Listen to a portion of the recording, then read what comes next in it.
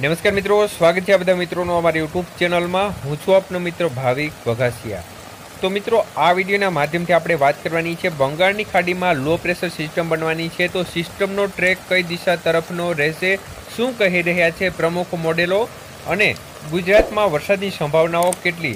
સંપૂર્ણ માહિતી જાણીએ તે પહેલાં ચેનલને સબસ્ક્રાઈબ કરી લેજો અને વિડીયોને લાઇક કરીને શેર કરવાનું ભૂલશો નહીં. તો મિત્રો, ખાસ કરીને તમે અત્યારે યુરોપિયન મોડલની અપડેટ જોઈ રહ્યા છો.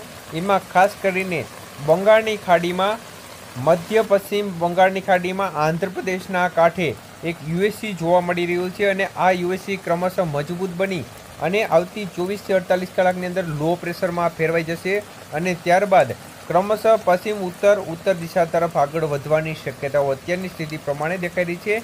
તો ખાસ કરીને આ યુએસસી આગળ વધી અને એમપીના મધ્ય ભાગ સુધી આવી અને સિસ્ટમ વધુ ઉપર તરફ જશે એટલે કે દિલ્હી તરફ જવાની શક્યતાઓ યુરોપિયન મોડેલની અપડેટ પ્રમાણે દેખાઈ રહી છે.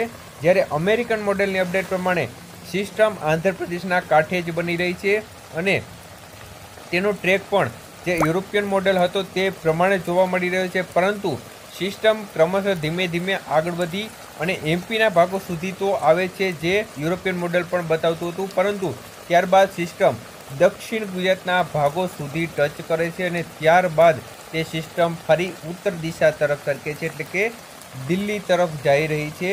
આ સંજોગોમાં જો આવી સ્થિતિ બને તો દક્ષિણ ગુજરાત, મધ્ય પૂર્વ ગુજરાત અને ઉત્તર ગુજરાતના ભાગોમાં સામાન્ય હળવા મધ્યમ વરસાદની શક્યતાઓ રહી શકે એટલે અમેરિકન મોડલની અપડેટ પ્રમાણે હજી પણ વરસાદની સંભાવનાઓ દેખાય છે. જ્યારે યુરોપિયન મોડલ પ્રમાણે સિસ્ટમનો ટ્રેક ઉત્તર દિશા તરફ જવાનો હોવાથી વરસાદની શક્યતાઓ ઓછી ગણી શકાય છે. અને હાલ આપણે બે દિવસ અગાઉમાં અપડેટમાં પણ કહ્યું હતું કે સિસ્ટમનો ટ્રેક ઉત્તર દિશા તરફ જાય તેવી સંભાવનાઓ વધુ છે. તો હાલની સ્થિતિ પ્રમાણે ગુજરાતમાં ખાસ કોઈ ભારે વરસાદની સંભાવનાઓ અત્યારની લેટેસ્ટ અપડેટ પ્રમાણે દેખાતી નથી. સામાન્ય રીતે ગુજરાત રિજનના ભાગોમાં હળવા મધ્યમ વરસાદની શક્યતાઓ, જો આ સિસ્ટમ અમેરિકન મોડલ પ્રમાણે રહે તો શક્યતાઓ ગણી શકાય છે. પરંતુ વધુ શક્યતાઓ મધ્યપ્રદેશના ભાગો પર આવી અને સિસ્ટમ ઉત્તર દિશા તરફ જવાની સંભાવનાઓ વધુ દેખાઈ રહી છે, કારણ કે ગુજરાત પર ભેજ, ગુજરાત પર સૂકા પવનોનો મારો હોવાને કારણે ભેજનું પ્રમાણ ઘટી ગયું છે અને આના પરિણામે સિસ્ટમને આગળ વધવા માટે જે અનુકૂળ વાતાવરણ જોતું હોય છે તે ના મળે તેવી શક્યતાઓ દેખાઈ રહી છે. જોકે સિસ્ટમ જમીન પર આવ્યા બાદ વધુ અપડેટ આપીશું કે સિસ્ટમ કઈ દિશા તરફ